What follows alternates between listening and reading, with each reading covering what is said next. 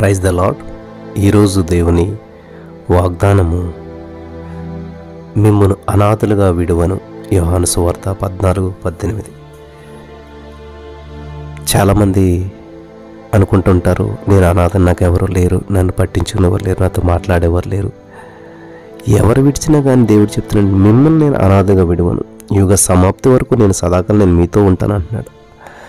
కాబట్టి వంటతనం వచ్చినప్పుడు సమస్యలు వచ్చినప్పుడు కృంగుదలు వచ్చినప్పుడు ఊహించిన పరిణామాలు ఎదురవుతున్నప్పుడు మనకు అనిపిస్తుంది ఒంటరిగా ఉన్నట్టు. కానీ మనం గమనించదగ్గ విషయం ఏంటంటే దేవుడు మనతో ఉన్నాడు. ఎవరు విడిచిపెట్టినా కానీ దేవుడు మనల్ని విడవడు. ఈ సత్యం తెలిసిన వారు ప్రతి సమస్యలో దేవుడు మనకు తోడుగా ఉన్నాడు మనల్ని విడిపిస్తారని చెప్పి ఖచ్చితంగా విశ్వాసంతో ఉండగలుగుతారు. నమ్ముతున్నారా? మిమ్మల్ని అనాథలుగా దేవుడు విడిచిపెట్టలేదు. స్తోత్రం దేవా ఈ వాగ్దానం నమ్మిన వారి జీవితంలో అద్భుతాలు చేసి వారికి ఒంటరితనం తీసివేసినందుకు వందనము చెల్లిస్తూ నజరడనే సుక్రీస్తు నామంలో ప్రార్థించి నమ్మి పొందుకుని ఉన్న మా పరమ తండ్రి. ఆమెన్.